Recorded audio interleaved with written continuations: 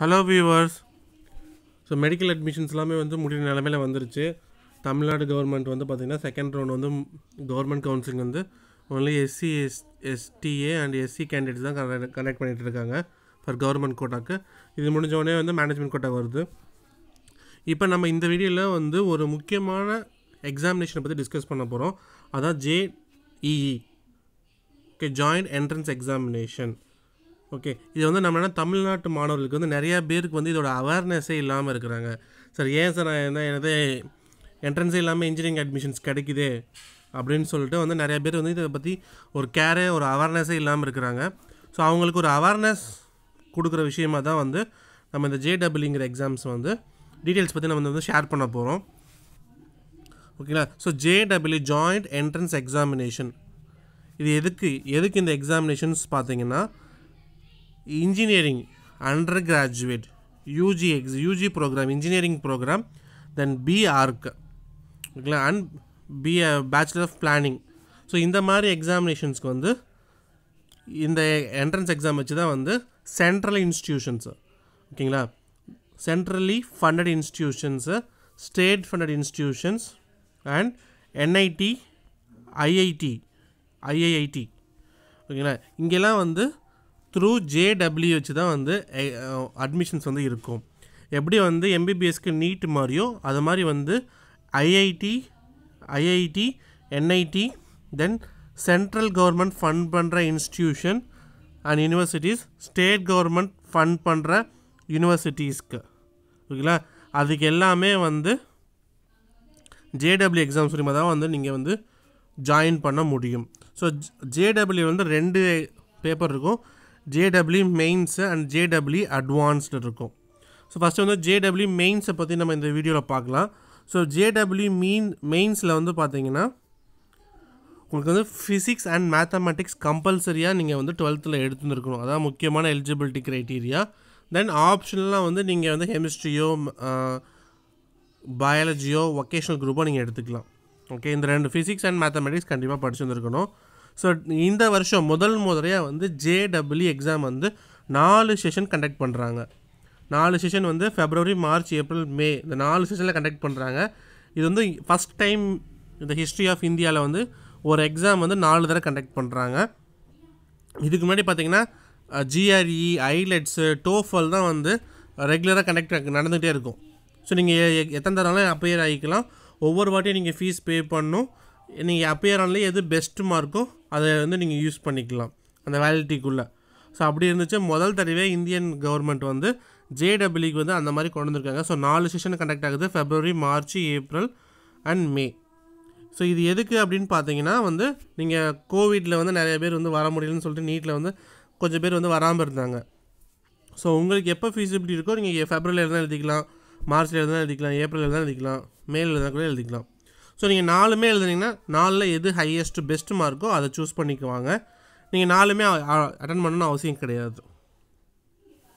Okay and வந்து so நீங்கள் February attend பண்ணிவிட்டு உங்களுடைய நீங்கள் நீங்களே ஜட்ஜ் பண்ணிக்கலாம்.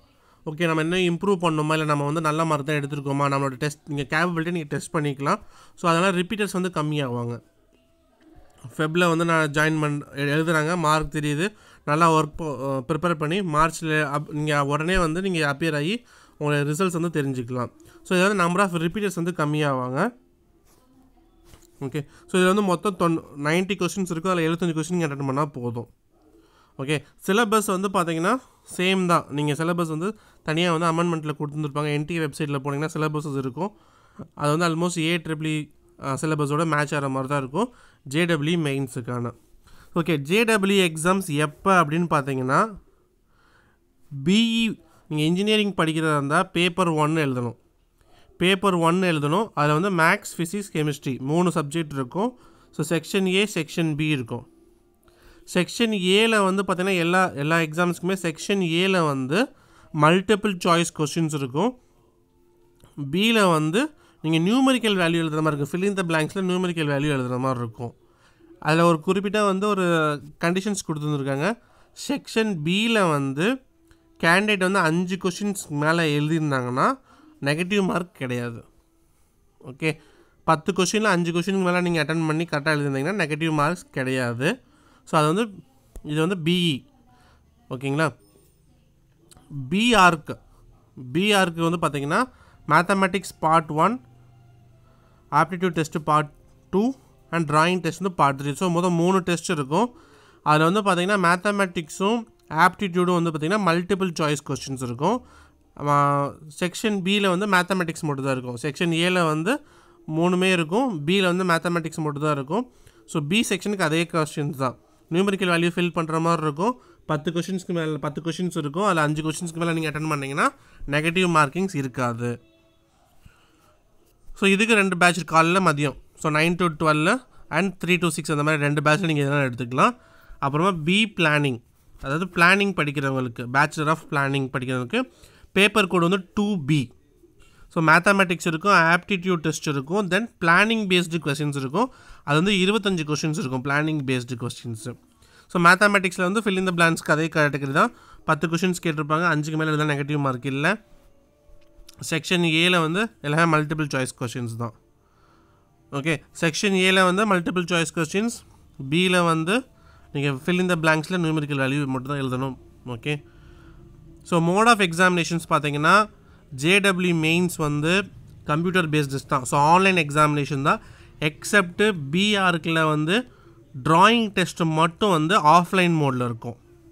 ஸோ ட்ராயிங் டெஸ்ட்டு மட்டும் ஆஃப்லைன் மோடில் இருக்கும். அந்த பிஆருக்கு வந்து ஆர்கிடெக்ட் படிக்கிறவங்களுக்கு அது ஒரு முக்கியமான பேப்பர் வந்து எழுதுவாங்க. So to get admission in top architect காலேஜஸில் ஸோ மீடியம் பார்த்தீங்கன்னா வந்து நீங்கள் நிறைய லாங்குவேஜில் எழுதலாம். ஸோ அசாமி பெங்காலி கன்னடா மலையாளம் மராத்தி ஒடியா பஞ்சாபி தமிழ் தெலுங்கு உருது இது தவிர்த்து வந்து ஹிந் ஹிந்தி இங்கிலீஷ் குஜராத்தி வந்து நீங்கள் கம்பைன் பண்ணி எடுத்துக்கலாம். ஓகேங்களா? ஸோ இதுதான் வந்து மோட் ஆஃப் எக்ஸாமினேஷன் என்னென்ன லாங்குவேஜில் எழு தமிழில் கூட நீங்கள் எழுதலாம். ஸோ வந்து it will be easy for Tamil medium students session ஒன்று ஓகே நாலு பார்த்தோம் இல்லையா? ஃபெப்ரவரியில் எப்போ கண்டக்ட் பண்ணுறாங்க ஃபெப்ரவரி இருபத்தி மூணு இருபத்தி நாலு இருபத்தஞ்சி இருபத்தி ஆறு. மார்ச்சில் வந்து பதினாறு பதினஞ்சு பதினாறு பதினேழு பதினெட்டு. ஏப்ரலில் வந்து இருபத்தி ஏழு இருபத்தெட்டு இருபத்தி ஒன்பது முப்பது. மேல வந்து இருபத்தி நாலு இருபத்தஞ்சி இருபத்தாறு இருபத்தேழு இருபத்தெட்டு. ஸோ மொத்தம் இத்தனை நாள் வந்து கண்டக்ட் பண்ணுறாங்க ஸோ ஒவ்வொரு நாலு சீசன் கண்டக்ட் பண்ணுறாங்க ஸோ இங்கே நாலு மாதம் கண்டக்ட் பண்ணுறாங்க ஒவ்வொரு மாதமும் நாலு நாள் இல்லை அஞ்சு நாள் கண்டக்ட் பண்ணுறாங்க ஸோ இதுக்கு லாஸ்ட் டேட் பார்த்தீங்கன்னா வந்து பதினாறாம் தேதி. பதினாறாம் தேதி லாஸ்ட் டேட்டு வர்ற சனிக்கிழமை போய் அடுத்த சனிக்கிழமை லாஸ்ட் டேட்டு அதுக்குள்ளே நீங்கள் ரிஜிஸ்ட்ரேஷன் பண்ணியிருந்துருக்கணும் சண்டேக்குள்ளே பதினேழாம் தேதி சண்டேக்குள்ளே வந்து நீங்கள் ஃபீஸ் பே பண்ணியிருந்துருக்கணும் ஸோ ஃபீஸ் வந்து நீங்கள் நாலு செஷனுக்கும் சேர்த்து பே பண்ணலாம். இல்லை ஒரு செஷன் பே பண்ணிவிட்டு என்னால் முடியலன்னு சொல்லிட்டு நீங்கள் அடுத்த செஷனுக்கு நீங்கள் ப்ரீபோன் பண்ணிக்கலாம். இல்லை ஒவ்வொரு செஷனுக்கும் வேணால் நீங்கள் அது அப்பப்போ பே பண்ணிக்கலாம். ஸோ ஒவ்வொரு ஒரு ஒரே ஒரு கன்ஃபர்மேஷன்ஸ் தான் வந்து எல்லா எல்லா எக்ஸாம்ஸ்க்கு வரும். ஸோ நீங்கள் அதை வச்சுட்டு நீங்கள் எக்ஸாமினேஷன்ஸ்க்கு போய் அண்ட கண்டக்ட் பண்ணி அட்டன் பண்ணிக்கலாம். ஓகே ஸோ வந்து அடுத்த ரிஜிஸ்ட்ரேஷன் வந்து பார்த்திங்கன்னா ஃபெப்ரவரி முடிஞ்சோடனே மார்ச்சுக்கு ஓப்பன் ஆகும். மார்ச் முடிஞ்சோடனே ஏப்ரலுக்கான ரிஜிஸ்ட்ரேஷன்ஸ் ஓப்பன் ஆகும். ஃபீஸ் பே பண்ணுறதுக்கு அந்த மாதிரி. ஓகே ஸோ நீங்கள் ஒரே ஒரு செஷன் தான் அப்ளை பண்ணியிருக்கீங்க ஃபெப்ரவரியில் நீங்கள் ரிஜிஸ்ட்ரேஷன் அதாவது ஃபெப்ரவரி ஃபெப்ரவரியில் நீங்கள் கலந்துக்க வேண்டாம். மார்ச் தான் கலந்துக்கலாம் நீங்கள் ஃபெப்ரவரியில் வந்து நீங்கள் எந்த செஷனை அப்லோட் பண்ணால் விட்டுட்டு போர்ட்டல் ஓப்பன் பண்ண உடனே நீங்கள் அடுத்த செஷனில் போய் நீங்கள் ரிஜிஸ்ட்ரேஷன் பண்ணிக்கலாம். ஸோ எல்லா செஷனுக்கும் சேர்த்து ஒரே ஒரு அப்ளிகேஷன்ஸ் பண்ணால் போதும். அது எல்லா செஷனுக்கும் நீங்கள் வேலிட் ஆகும். ஓகே ஸோ ஒரு ஒரு ஆளுக்கு ஒரு அப்ளிகேஷன் தான் அலோவ் பண்ணுவாங்க. ஸோ ஃபர்தர் ஏதாவது கொஷின்ஸ் இருந்துச்சுன்னா நம்ம சேனல் டிஸ்கிரிப்ஷன்ஸில் வந்து நீங்கள் போடுங்க. நான் வந்து கிளாரிஃபை பண்ணுறேன் ஸோ ஜேடபிள்யூ வந்து ஒரு இன்ஜினியரிங் வந்து ஐஐடி என்ஐடியில் ஒரு சென்ட்ரலைஸ் யூனிவர்சிட்டிஸில் படிக்கணும்னு நினைக்கிறவங்களுக்கு வந்து இன்ஜினியரிங் வந்து மிக மிக முக்கியமானது வந்து ஜேடபிள்யூ ஓகேங்களா ஸோ தமிழ்லேயும் இந்த பரீட்சை எழுதலாம். சிலபஸ் வந்து பார்த்திங்கன்னா நம்ம லெவன்த்து டுவெல்த்து தான். ஃபிசிக்ஸ் மேத்தமெட்டிக்ஸ் தான் மெயின் கெமிஸ்ட்ரி வந்து தேர்ட் ஆப்ஷன்ஸு ஓகே ஸோ இதெல்லாம் அதனால் வந்து நம்ம தமிழ்நாட்டு மாணவர்கள் நீங்கள் ஃபிசிக்ஸ் கெமிஸ்ட்ரி ஆல்ரெடி நீட்டுக்கு படிப்பீங்க. கூட மேக்ஸையும் சேர்த்து படிங்க. சப்போஸ் உங்களுக்கு நீட் கிடைக்கலனா கூட உங்களுக்கு வந்து இன்ஜினியரிங்லேருந்து ஒரு நல்ல இன்ஸ்டியூஷனில் கிடைக்கிறதுக்கு வாய்ப்புகள் இருக்குது. ஸோ அதனால் வந்து இது ஒரு நல்ல ஆப்பர்ச்சுனிட்டி பண் பண்ணிக்கோங்க. ஏன்னா நிறையா பேர் வந்து இன்ஜினியரிங் படிக்கணுன்றாங்க. பட் இன்ஜினியரிங்கோட தரம் வந்து பார்த்திங்கன்னா நமக்கு வந்து குறைஞ்சிக்கிட்டே வருது. ஸோ அப்படின்றப்ப நம்ம டாப் யூனிவர்சிட்டிஸில் படித்தால் மட்டுமே வந்து இன்ஜினியரிங் படித்தா வந்து உங்களுக்கு ஃப்யூச்சர் நல்லாயிருக்கும் அப்படின்றப்ப டாப் யூனிவர்சிட்டிஸில் போகணுன்னா டாப் காலேஜஸில் போகணுன்னா நீங்கள் ஜேடபிள்யூ எழுதினா மட்டும் தான் போக முடியும். தமிழ்நாட்டில் டாப் காலேஜஸில் வந்து நீங்கள் வந்து one ninety five and above எடுத்து தான் தமிழ்நாட்டில் கவர்மெண்ட் காலேஜ் டாப் காலேஜஸ் கிடைக்கும். அது வந்து டுவெல் கவர்மெண்ட் ஸ்கூலில் படித்தவங்களுக்கு வந்து ரொம்ப ரொம்ப கஷ்டமான விஷயம். பட் ஜேடபிள்யூ வந்து பார்த்திங்கன்னா முழுக்க முழுக்க அப்ளிகேஷன் பேஸ்டு தான். ஸோ உங்களுக்கு டெக்னிக்ஸ் தெரியும் ஃபார்முலா தெரியும் அண்டர்ஸ்டாண்ட் பண்ணிட்டீங்கன்னா நீங்கள் எந்த கொஸ்டின்ஸ்லாம் அட்டன் பண்ணலாம். ஸோ அதனால் அதுக்கு ப்ரிப்ரேஷன்ஸ் பண்ணுங்கள் ஆல் த பெஸ்ட் இன்ஜினியரிங்கில் வந்து நல்ல ஸ்கோப் இருக்குது. இப்போ டேட்டா சயின்ஸு ஆர்டிஃபிஷியல் இன்டெலிஜென்ஸ் எல்லாமே வந்து நிறைய பூம் ஆகிட்டு வருது. டிஜிட்டல் டிஜிட்டல் வேர்ல்டு தான் வந்து இப்போ அடுத்து நெக்ஸ்ட்டு வந்து ரன் ஆக போகிறது ஸோ நல்ல ஸ்கோப் இருக்குது.